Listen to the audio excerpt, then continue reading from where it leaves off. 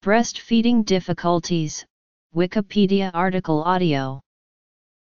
Breastfeeding difficulties refers to problems that arise from breastfeeding, the feeding of an infant or young child with milk from a woman's breasts. Although babies have a sucking reflex that enables them to suck and swallow milk, and although human breast milk is usually the best source of nourishment for human infants, there are circumstances under which breastfeeding can be problematic, or even, in rare instances, contraindicated. Difficulties can arise both in connection with the act of breastfeeding and with the health of the nursing infant.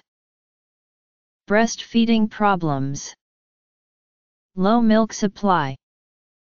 While breastfeeding difficulties are not uncommon, putting the baby to the breast as soon as possible after birth helps to avoid many problems. The policy of the American Academy of Pediatrics on breastfeeding says, delay weighing, measuring, bathing, needle sticks, and eye prophylaxis until after the first feeding is completed. Many breastfeeding difficulties can be resolved with proper hospital procedures, properly trained nurses and hospital staff, speech pathologists, and lactation consultants.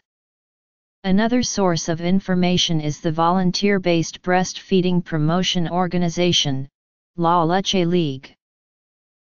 A variety of factors and conditions can interfere with successful breastfeeding. Pain often interferes with successful breastfeeding.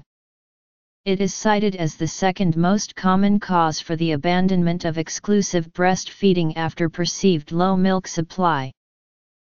Inverted or retracted nipples sometimes make attachment to the breast difficult. These mothers need additional support to feed their babies. Treatment is started after the birth of the baby. The nipple is manually stretched out several times a day. A pump or a plastic syringe is used to draw out the nipple and the baby is then put to the breast. Breast engorgement is the sense of breast fullness experienced by most women within 36 hours of delivery. Normally, this is a painless sensation of heaviness. Breastfeeding on demand is the primary way of preventing painful engorgement. Breast pain. When the breast overfills with milk it becomes painful. Engorgement comes from not getting enough milk from the breast. It happens about 3 to 7 days after delivery and occurs more often in first-time mothers. The increased blood supply, the accumulated milk and the swelling all contribute to the painful engorgement. Engorgement may affect the areola, the periphery of the breast or the entire breast, and may interfere with breastfeeding both from the pain and also from the distortion of the normal shape of the areola slash nipple. This makes it harder for the baby to latch on properly for feeding. Latching may occur over only part of the areola.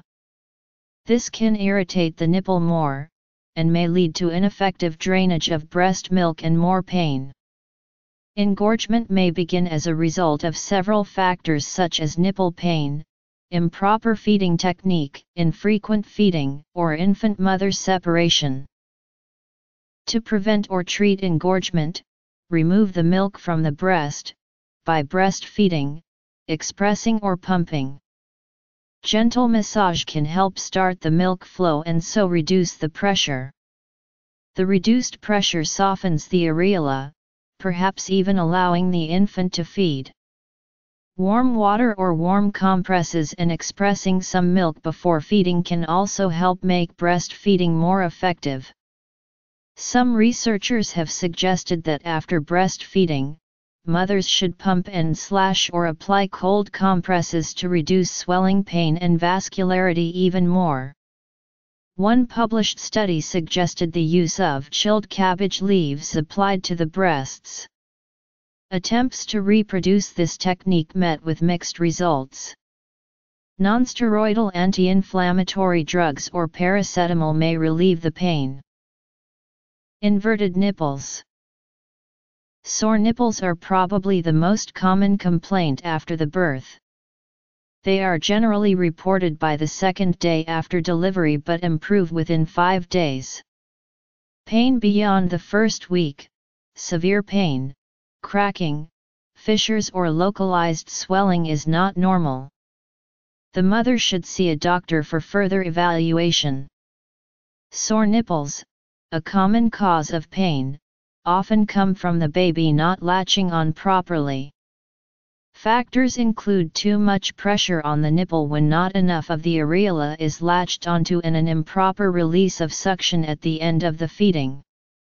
Improper use of breast pumps or topical remedies can also contribute.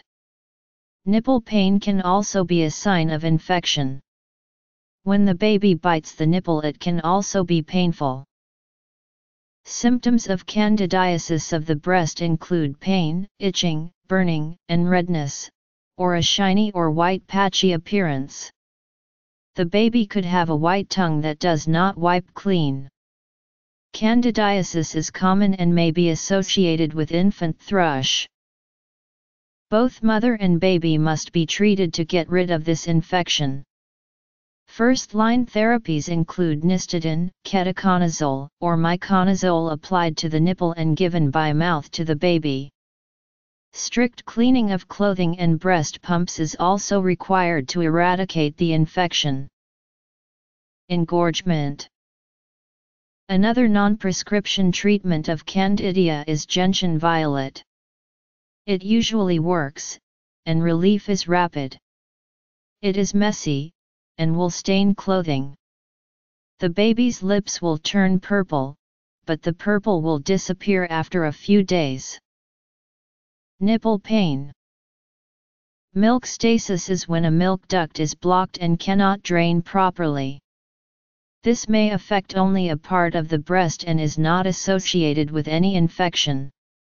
It can be treated by varying the baby's feeding position and applying heat before feeding. If it happens more than once, further evaluation is needed. Candidiasis Mastitis is an inflammation of the breast. It causes local pain, redness, swelling, and warmth. Later stages of mastitis cause symptoms of systemic infection like fever and nausea. It mostly occurs 2-3 weeks after delivery but can happen at any time. Typically results from milk stasis with primary or secondary local, later systemic infection. Infectious organisms include Staphylococcus sp, Streptococcus sp, and E. coli. Continued breastfeeding, plenty of rest and adequate fluid supply is the best treatment for light cases. Overactive letdown is the forceful ejection of milk from the breast during breastfeeding. The forceful spray of milk can cause the baby to consume too much milk too quickly as well as to swallow air during the period of rapid swallowing following the letdown. Milk stasis Very rarely, nipple pain can be caused by vasospasm of the nipple. In essence, blood does not flow properly to the nipple which causes the nipple to blanch. This can be caused by trauma to the nipple through early breastfeeding or candidal infection of the nipple. The pain is intense during the latch stage and in between breastfeeding sessions there is a throbbing pain when the nipple is blanched. The nipple can be massaged to help blood flow return to reduce pain, as well as avoiding cold. In some instances, heart medication, nifedipine, is used to help the blood flow return to the nipple. Infants with classic galactosemia cannot digest lactose and therefore cannot benefit from breast milk. Breastfeeding might harm the baby also if the mother has untreated pulmonary tuberculosis, is taking certain medications that suppress the immune system, has HIV, or uses potentially harmful substances such as cocaine, heroin, and amphetamines. Other than cases of acute poisoning, no environmental contaminant has been found to cause more harm to infants than lack of breastfeeding. Although heavy metals such as mercury are dispersed throughout the environment and are of concern to the nursing infant, the neurodevelopmental benefits of human milk tend to override the potential adverse effects of neurotoxicants. Artificial teats or dummies can suppress the sucking reflex in infants. In addition, when a baby is put to the breast for shorter periods of time, milk production decreases. The time spent sucking by the infant on the pacifier or artificial teat reduces the time on the breast. It is not safe for mothers with active, untreated tuberculosis to breastfeed until they are no longer contagious. According to the American Academy of Pediatrics 2006 Red Book, in areas where BCG vaccination is the standard of care, the WHO provides treatment recommendations and advises mothers to continue breastfeeding. TBC may be congenital, or perinatally acquired through airborne droplet spread. Mastitis Research published in The Lancet has highlighted a lower risk of HIV transmission with exclusive breastfeeding by HIV-positive mothers, compared to mixed feeding. Research on the timing of HIV transmission in 2000 revealed that a substantial transmission occurs early during breastfeeding, concluding that 75% of all breast milk transmission had occurred within the first six months during a randomized control trial in Kenya. This research is of particular importance in developing countries where infant formula is not widely available or safe to prepare. In fact, the World Health Organization recommended breastfeeding in 1987 and 1992 for seropositive and seronegative women in areas where malnutrition and infectious diseases are the major cause of infant mortality. In 1996 UNAIDS issued a recommendation that women in developing countries consider the risks and benefits of each feeding practice on an individual level, they recommended women make an informed choice about infant feeding.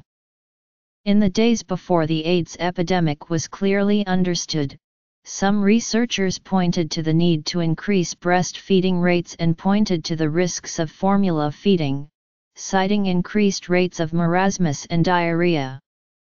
D. And E. Also criticized the marketing of infant formulas by U.S. companies to resource-poor countries, something they termed commerciogenic malnutrition. A more recent article from 1992 describes how the health of an infant can be compromised by water, which in many resource-poor countries holds the risk of environmental pathogens that are not present in breast milk. Overactive letdown The vast majority of over-the-counter and prescription medicines are compatible with breastfeeding, but there are some that might be passed on to the child through the milk. Formula feeding, thrush, distractions or interruptions during feeds, long separations from the mother, tachypnea such as intransient tachypnea of the newborn, surfactant deficiency, respiratory distress syndrome or other infant medical conditions, presence of an actual physical barrier between mother and infant, swallowing difficulties such as with prematurity and coordination of sucking, swallowing, and breathing, or gastrointestinal tract abnormalities like tracheoesophageal fistula, pain. Resulting from surgical procedures like circumcision, blood tests, or vaccinations, difficulties latching onto the breast, poor sucking reflex, hypoplastic breasts slash insufficient glandular tissue, galactorrhea, lactation failure, polycystic ovarian syndrome, diabetes, severe maternal stressors, insufficient rest slash support of the mother during the first six weeks postpartum, early return to work due to lack of financial support slash maternity leave of mother, cleft palate, ankyloglossia, hypoglycemia or hyperglycemia, hypotonia.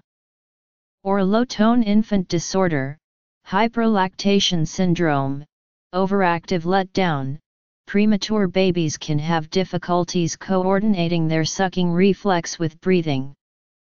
They may also tire during feeds. Premature infants unable to take enough calories by mouth may need enteral or gavage feeding, inserting a feeding tube into the stomach to provide enough breast milk or a substitute. This is often done together with kangaroo care which makes later breastfeeding easier.